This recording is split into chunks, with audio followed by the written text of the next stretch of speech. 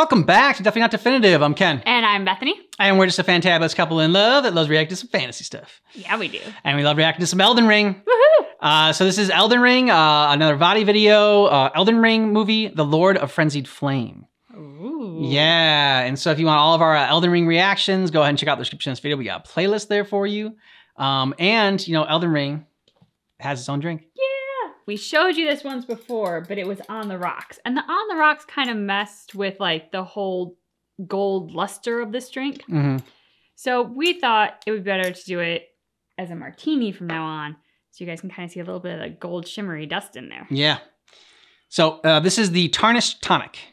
To the tarnished tonic. Cheers. Cheers. The lands between the double ruined, Silent. mired in lightsaber. and despair. Is there really anything here worth fighting for? Is there anyone worth saving? Hello? Is somebody there? My name is Irina. I've escaped from Castle Morn to the south. My good father secreted me out the castle, but decided himself to stay. He says it's his duty. As commander, the servants there have rebelled. Filled with hatred for every one of us. They've since come for every one of the companions I hmm. escaped with. They haven't spared a soul. Just for good measure. Chop him again. I. I fear for father's life. And my soul wishes that he escape. Oh, that's so badass. The mm-hmm. slaves of Castle Morn are misbegotten. Their very existence is considered to be a punishment. But their only crime was being born outside of grace. So it's no wonder that hatred has fermented in their hearts, inspiring them to finally break free of their masters. The next step in a cycle of revenge that began at Castle Morn long ago. I see. From Irina. Thank you. I'm in your debt, but I can't leave yet. Even if the castle should fall, as commander, I must remain. That's a to sword. ensure the treasured The Iron sword of Throne sword. Morn Yeah. does not fall into the wrong hands. Ages ago, a lone champion fought at Castle Morn. His entire clan had been vanquished, but he grafted their swords onto his own and continued to fight. So determined was he to claim his revenge. And so, this became the legendary sword of Castle Morn. It was claimed by the banished knights of Godrick, stolen by a misbegotten, and then passed down to you. And with it, the cycle of revenge continues. Pulled it back through. Mm-hmm. An eye for an eye. I'm in your debt for keeping the sword from those fallen creatures.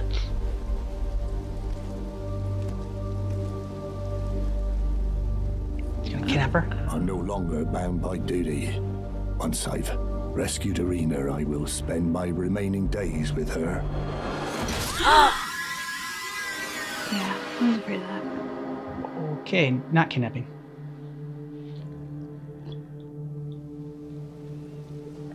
Irina, how could this be? My daughter deserved better. The fault lies with me. I chose duty over my daughter's safety. And that oh. is Oh. how fate has answered. I'll find them. The foul wretches responsible for this.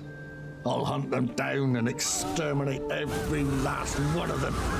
Rest assured, oh. Irina, it will be done. Okay. Revenge story. I dig it. Hmm. You're a tarnished. Is that Santa Claus? I can see it. and I can also see that you're not after my throat. Then why not purchase a little something? I am Kale, purveyor of fine goods. I am of a nomadic people, selling wares as I travel. The land has been tainted by madness since the shattering of the Elden Ring. It's only tarnished like yourself, who keep things from drying up entirely. Let's say you're a very welcome customer. It's quite the outfit. There are others of my people who yet survive in these lands. If the mood takes you and you meet one, then offer them some trade, won't you?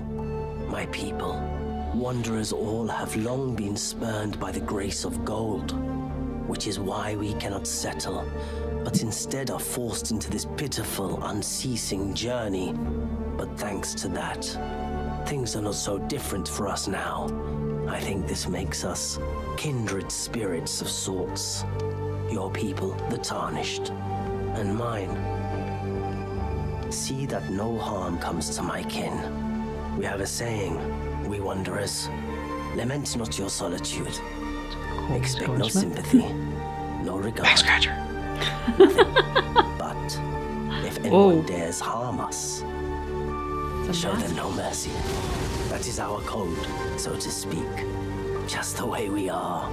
Deeply unforgiving. Deep within the eyes of the oldest merchants, a secret is hidden. Deeply unforgiving indeed. But I've done all I can here. I'm thinking of moving elsewhere for a time. So far, we've spoken of misbegotten, banished knights, tarnished, and merchants. That was cool. All were spurned by grace in one way or another. You can't go too far without wondering if the Golden Order is to blame for the oceans of anger and despair. When we last met Edgar, he swore revenge upon the misbegotten. But now, all must die, misbegotten or not. Mm, and if you gonna be a defeat. Edgar, you will receive a Shabriri grape. It's our proof that his need for revenge no longer divides or distinguishes. Love, oh. revenge, melt it all away in the yellow chaos flame.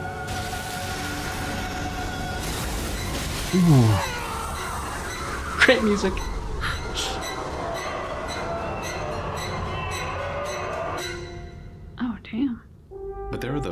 Who fight against the tarnished who stalk their own. Yura, the hunter of bloody fingers, will often man. be at your side.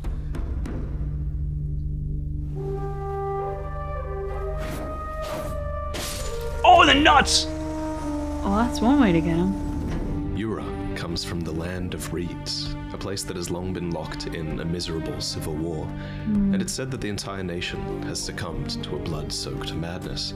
It's not too surprising, then, that Yura fights against any blood crazed tarnished, whether they serve the Lord of Blood or otherwise. But Yura's true mark is a Drake Knight named Eleonora, located at the Second Church of Marika, where she kills Yura in cold blood. Once, Eleonora had a legacy as a proud knight, but because of her dragon communion, it seems her humanity has slipped away. So, you put that legacy to rest. By now, it should be clear that madness takes many forms. Hello? Is someone there? My name is Hyetta, and I'm journeying in search of the distant light. If I might be so bold as to ask, would you donate any Shabriri grapes in your possession to me? She looks like Irina. I was say, I thought she got but sliced. Irina is dead. Somehow, this Hyetta has taken over that body. But for what purpose? She barely even knows herself. I can feel a distant light in the back of my eyes. It will lead me to my true duty as a finger maiden. You're not like the others who give me grapes, are you? They rest their trembling hands upon me. Grapes? Howling wordlessly, they gently stroke my eyes, What? their frail fingers, emaciated. Yet still, they give me the grapes. But you seem somehow firmer. Now I can feel the distant light once more. That aside, I wonder what Shabriri grapes really are. Delectably tender and sweet, yet searing. What a sight they must be to behold. Of course, the Shabriri grapes are eyes. I was afraid Yellow, of shriveled, and oozing. That's not possible. Not all of those people. Their own. So those noises I heard were. Yeah, that, Oh. would, that would make you want to hurl. Yeah. Yep.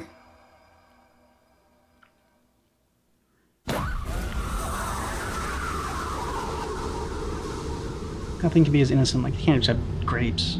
Gotta be eyes. Shouldn't. Shabriri, the most reviled man in all of history. It all began long ago with the crime of slander. Shabriri came up with a lie, and it was so damaging, so heinous, that his eyes were gouged out as a punishment when that lie was proven to be false. We can't be sure of what was said, but what if Shabriri slandered the nomadic merchants? What if, with a crooked smile, he accused them of the very crime he himself was guilty of, saying that they had fraternized with the Three Fingers and were not to be trusted? This would explain why the nomadic merchants came to be so hated. It is said, after all, that the sickness of the flame of frenzy began with Shabriri. And after his eyes were gouged out, the blight of the flame of frenzy came to dwell in his empty sockets. Yellow eyes became known as Shabriri grapes, and frenzy started to infect the despairing world. A madness that belongs to those who have lost everything.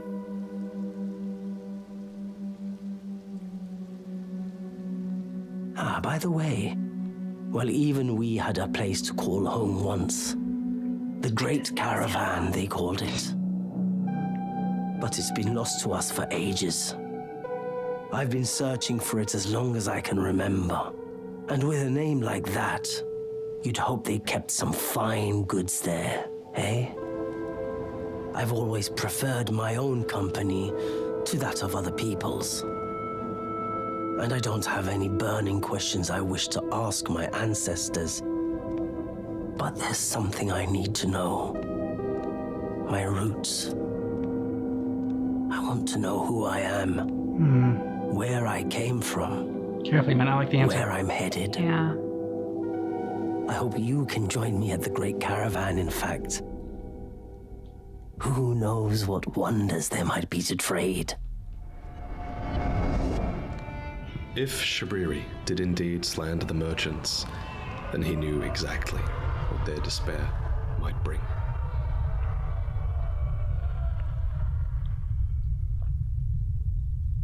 What, what would it bring? Ah. Is that you over there? I've gleaned something very important indeed, thanks to you.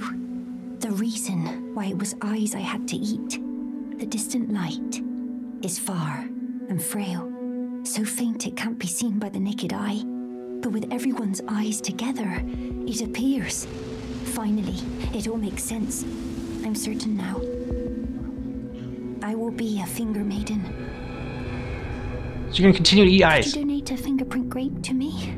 They're special grapes which only grow on those who've been clasped by the burnt fingers. We only know of one other who was clasped in such a manner. His name was Vyke, the Dragon Spear. After the war with the ancient dragons, there came the rise of the dragon cultists, who earned the dragon's affection. One of the most beloved was Vyke the Dragon Spear, a tarnished descended from Godfrey, who eventually returned from across the sea to join the Round Table Hold in hopes of becoming Elden Lord. To this end, Vyke was Just think of assigned a finger finger thing. and acquired the power of two great runes. But when he stood before the thorns of the oak tree, he realized the truth that a maiden's true purpose is to burn the thorns for the one who would become Elden Lord. And whether it was born of love or duty, Vyke refused to burn his maiden. For the whisperings of Shabriri had told him of another flame. A flame of frenzy hidden deep below the capital that could burn the thorns away. But when Vyke returned, his maiden was dead. Did she commit suicide after betraying her purpose? Or was Vyke captured and punished for his treason? Whatever the case, now Vyke's vengeful spirit defends the dead maiden at the Church of Inhibition, hmm. while the real Vyke kneels imprisoned in an evergaol deep within the Forbidden Lands, clad in armor clasped by three burnt fingers. This is all that remains of the contender that was supposed to become Elden Lord.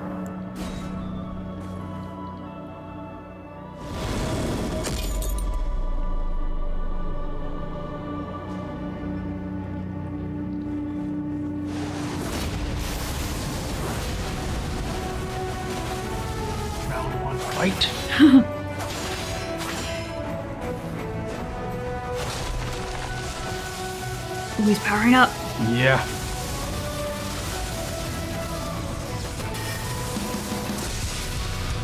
Okay. I see your red lightning, and I raise you blue lightning.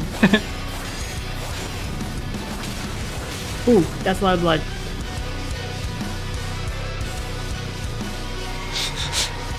Both chug and push at the same time. Oh! Whoa! Okay, his move was better. Giant dragon claw. A hand of death.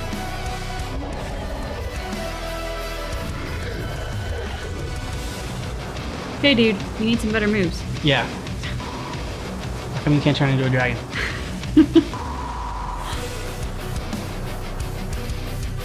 Or can you? Maybe? Oh, he's got the flaming eyes. Oh, Cyclops! Okay. Alright. Nice block, maybe? So there are fireworks go- going off from his head. Mm hmm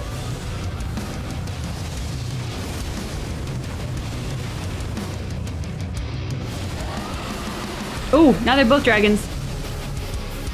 Okay, so it's Scorpion and Sub Zero. Yeah, I was about to say, that makes me think of Mortal Kombat. it's a badass fight. Yeah, it is. Ooh. Oh, he's got a big sword. You got a scythe.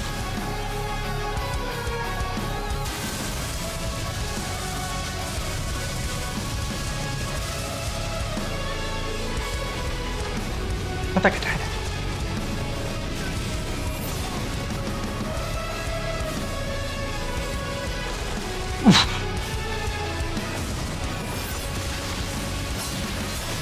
Oh, I think Scorpion's Yeah, winning.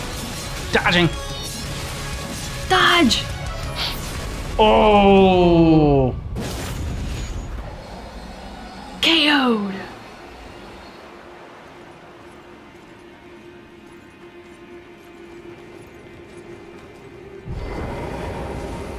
Dude, what happened to your horse? Finally, we meet the tarnished who would be Lord. Oh my. Why the long face? I fear that you were previously acquainted with this vessel. Well, that is most unfortunate. For he is dead. As hmm. for his flesh, he gave it to me. Shabriri. Oh! I hope you can make your peace with that. You are about to sacrifice something precious, the life of a fair maiden, that you would toss into the fiery forge, only so that you may be Lord. What a horrible thing to ponder. Your ascendancy requires her sacrifice, whether she wishes it or not. But how would the Lord, crowned so, be looked upon. Chosen tarnished and would be Lord, dare to tread the path of true rigor. Spare the poor girl and singe your own flesh in her stead. If you are prepared to show resolve and attain lordship through righteous hardship, then heed the words of I, Shabriri. Chosen, tarnished, and would be lord, descend into the depths far below the Erd Tree capital. Seek audience with the three fingers and the flame of frenzy. If you inherit the flame of frenzy, your flesh will serve as kindling. Burn the Erd Tree to the ground and incinerate all that divides and distinguishes. Ah, may chaos take the world. May chaos Yeah, thank you. Okay. It's like maybe don't listen to this guy. Shabriri.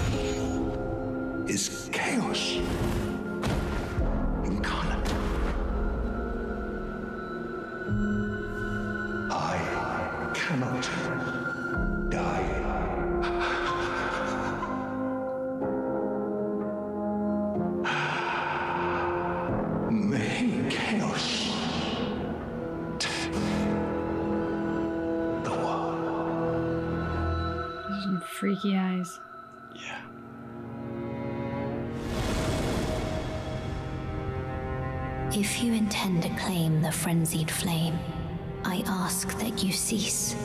It is not to be meddled with. It is chaos, devouring life and thought unending. However ruined this world has become, however mired in torment and despair, life endures. Oh, little jars. continue. There is beauty in that. Is there not? If you would become Lord, do not deny this notion. Please, leave the frenzied flame alone. And maybe you would have left it alone. Were it not for the horrors that you found down there.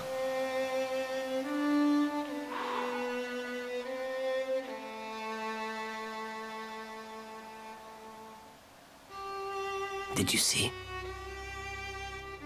What they did to my ancestors?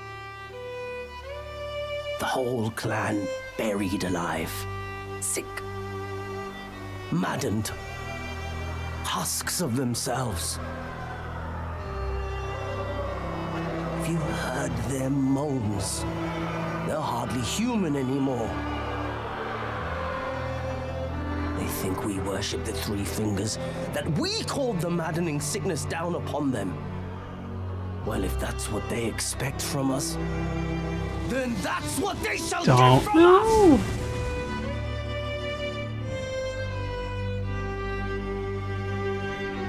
The world of grace and its people should have been content to see us sink between the cracks, but to have intruded upon our solace, having broken us upon their whims?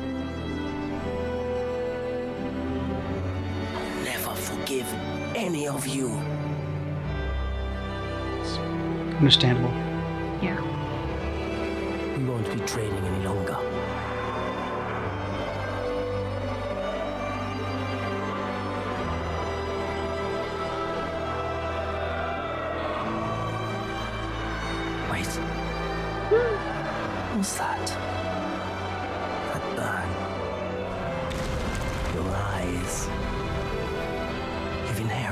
Flame of frenzy.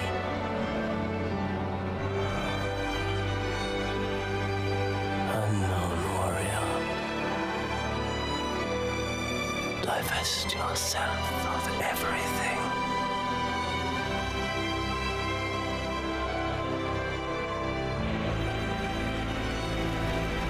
Our three fingers. Throw wide the door.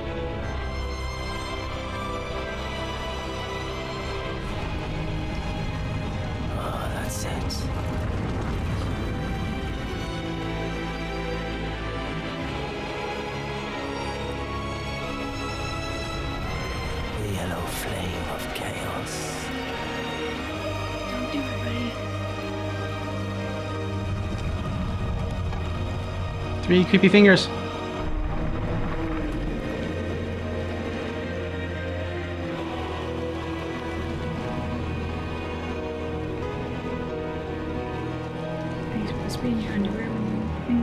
Please. Of course, obviously. A frenzied flame to melt away the curses, suffering, and despair. And the order entire. It's probably pretty cold.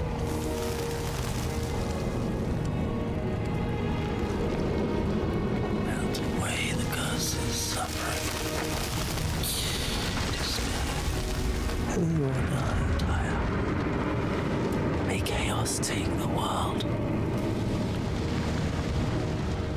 May chaos take the world.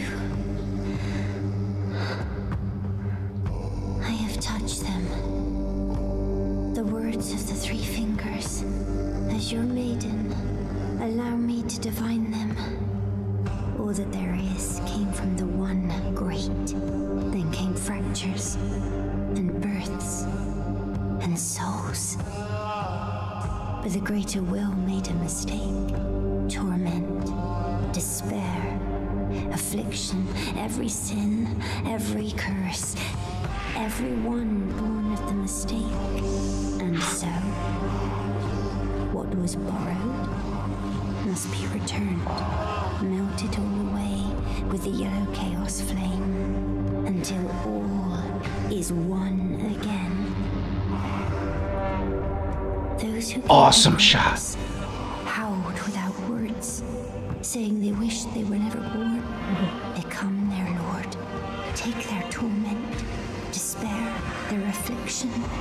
every sin, every curse, and melt it all away.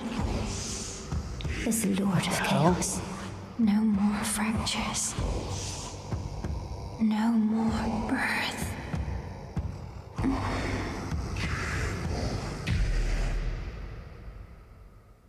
And so it is that an eye for an eye leaves the whole world oh.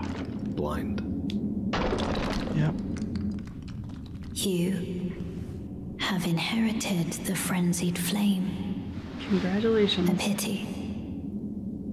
Our accord ends here. Oh. Ghost Rider.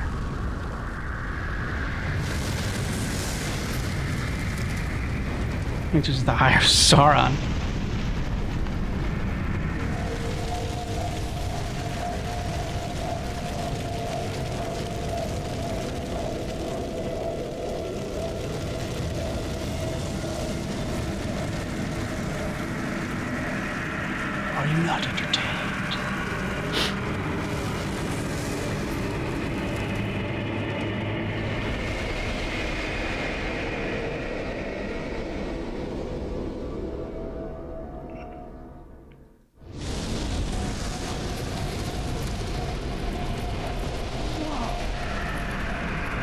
Crazy.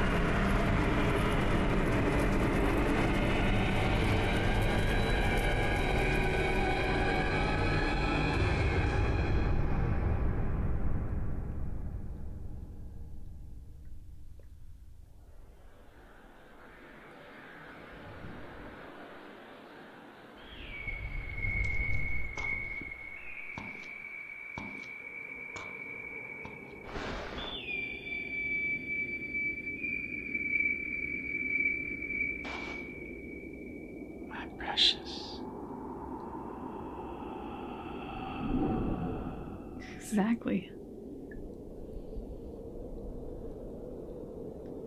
Lord of frenzied flame.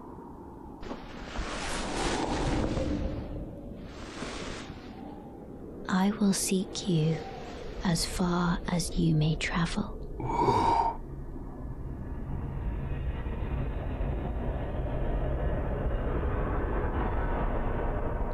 To deliver you what is yours. Destined death.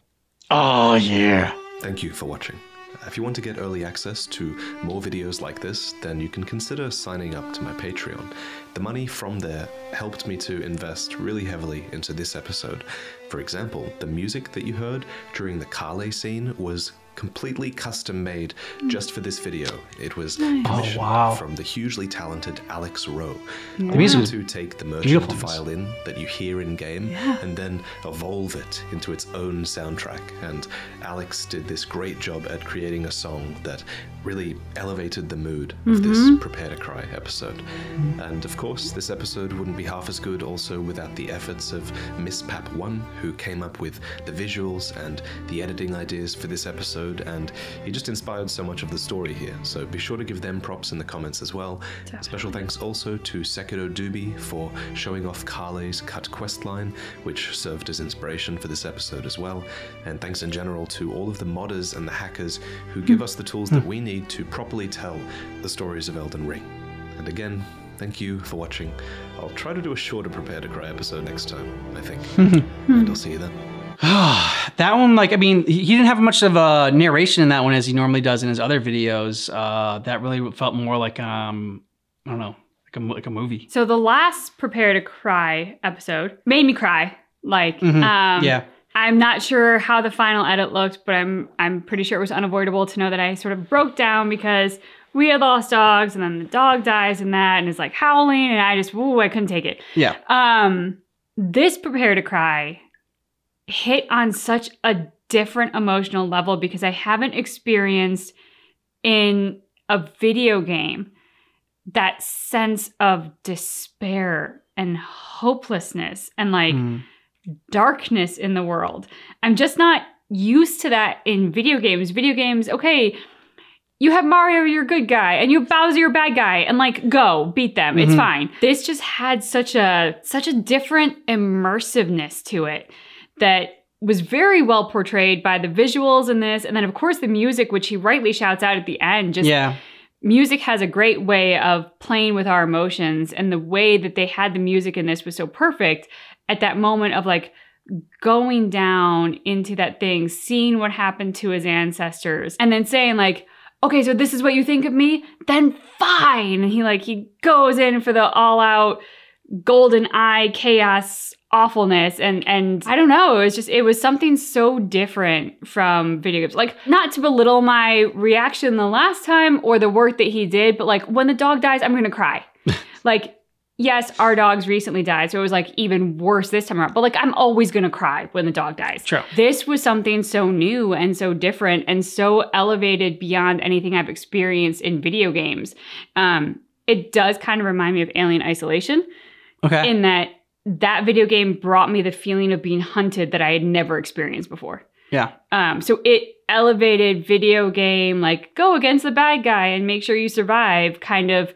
typical feeling into something so much more unsettling and anxiety ridden. Um, and I just have to shout out the evolution of video games because this is so. I mean, magnificent and also kind of disturbing that we can go to like the pits of despair and here, try out what it's like to be hunted. Like, Mhm. isn't that fun? And it is, but like in a twisted way. And I like that when uh, the guy was being told, just like, you know what you need to do instead of sacrificing someone. Like, it started off altruistic. Like the guy that was uh, basically um, that had killed everyone down below in the in the in the tunnel, or and um, had blamed everything on them, like all his whatever uh, deeds. Uh, Saibon, Saban, uh, probably not even close. Began with an S. Pretty sure it began with an S. Uh, we'll, we'll call him. I don't know, like side bitch. Uh, sure, why not? so side bitch when he was um taking over uh lampshade guy with a sa- Yep. lampshade samurai Yep, I was thinking of him as Lampshade Raiden. lampshade raiden that, that, that, that works too and he took for his body and he was trying to tell uh the guy that had the frenzied flame oh you know what you know you could kill somebody like you know and, and take your position a, a, as a lord yourself or you know you could do something more noble and like you know and, and go through the flames yourself and and uh and get the power through like a more righteous way and a, in a noble way and you know and self self-sacrifice way. And he started out very good and like that's you know that's how that's how they hook you.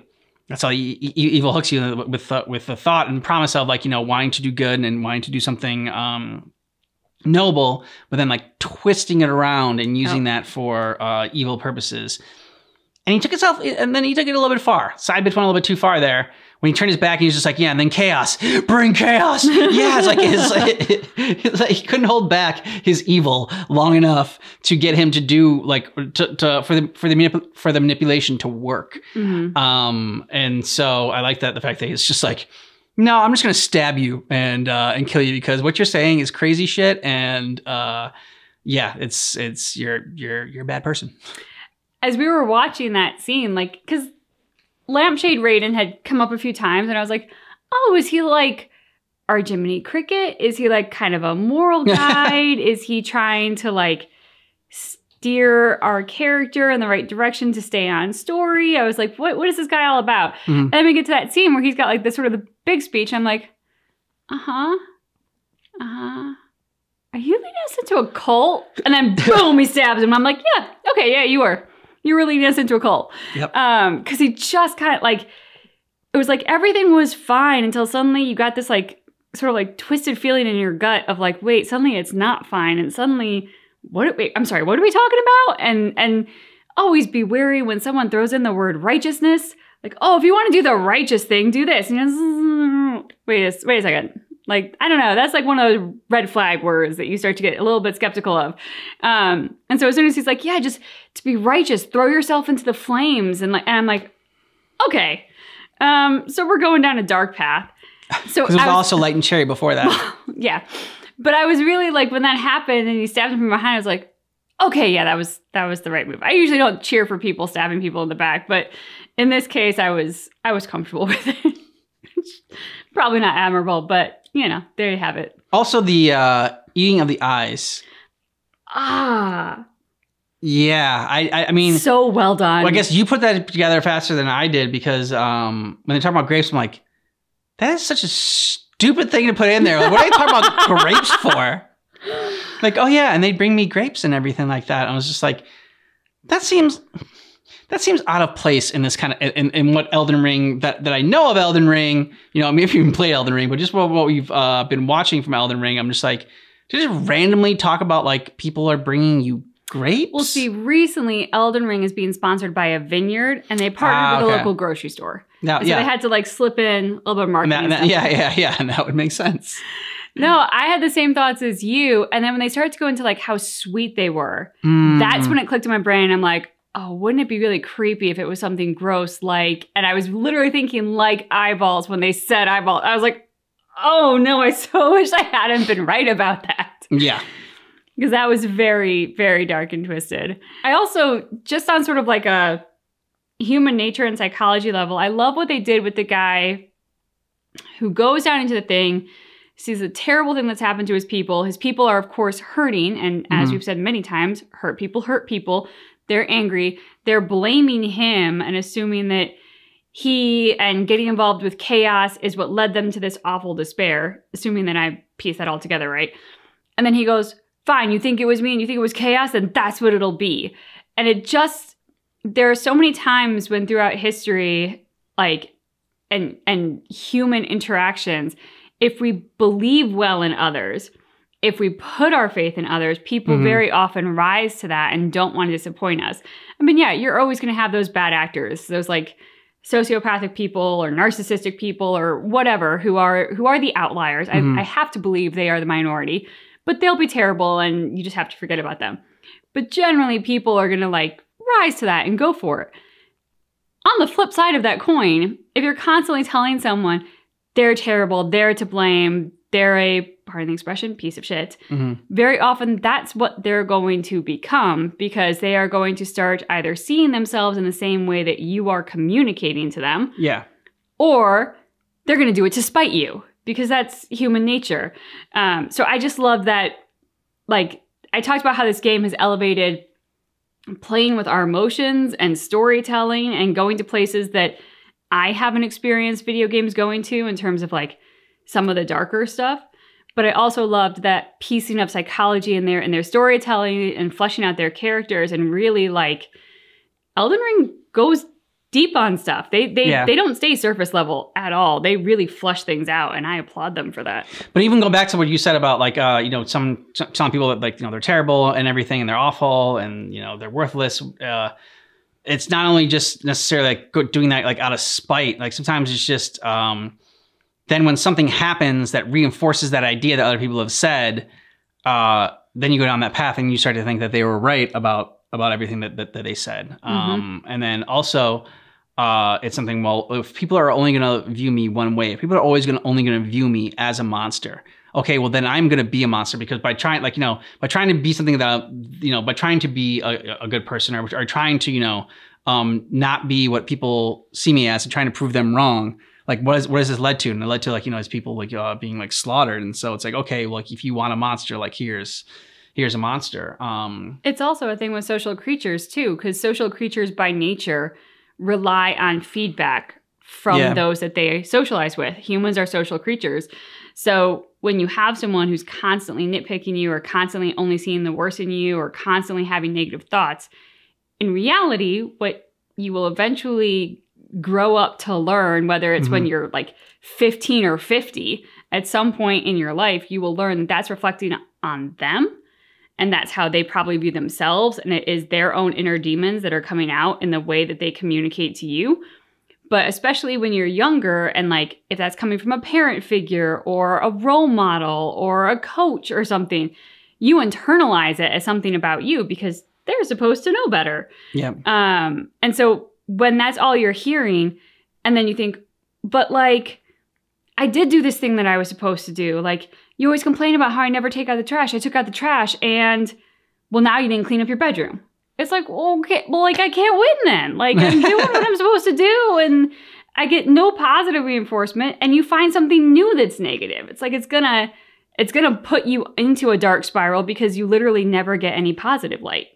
yeah, and it just goes to show that like you know, I mean, if you, random act, random acts of kindness uh, go a long way. So if you can ever like you know just smile, you know, not a creepy smile, but you know, like uh, like like smile, uh, smile at somebody, or you know, give them a, give them a compliment. Um, you never know how far that's going to go because of, Yes. of, of the day that they had, or they might be feeling down, like and like they are, uh, you know, do feel like worthless at that point. And then someone like comes out and shows them an act of, an act of kindness. Not only does it help them, like you know, reinforce the self, like ab- about themselves that they feel better about themselves, but then you start feeling better about like humanity in general, and um, you know that the world is not so terrible and not so dark and bleak. Um, so yeah, that's just you know from this from, the, from from this darkness that we got from Elden Ring, it's just like you know let's, let's shed a little bit of light into into our world. And light is contagious. Positivity is contagious. yeah, So, like, if you're nice to somebody, that person suddenly starts feeling a little bit better about their world. They're then nice to someone. It's like, yeah, the pay it forward. Yeah, it is the pay it forward. And you don't even have to be like, hey, I told you something nice, go pay it forward. That's going to be a little bit awkward. yeah, yeah, yeah. yeah. But uh, Al- along with a smile, you know, make sure don't, don't don't smile awkwardly. Don't smile awkwardly at people. but just by doing something nice, it is incredible how as as contagious as negativity is, as contagious as it is to go into the dark spiral of like flicking somebody off on the freeway and then like knocking into somebody and not apologizing for it and like all those terrible things that you can Mhm. do that to you are seemingly small and innocuous but to other people can have a big impact the same thing happens with good things and positive things and nice things um, and the world could use more of that right now Yeah. a lot more Let us know what you thought about this down below in the comments. And if you want all of our Elden Ring reactions, check out the description of this video. We got a playlist there for you. And you can get early ad-free access to videos like this on our Patreon, which is a link down below in the description of this video. Thanks so much for checking out our reaction for an Elden Ring movie, The Lord of Frenzied Flame. But just keep in mind. that our reaction is definitely not definitive. Cheers!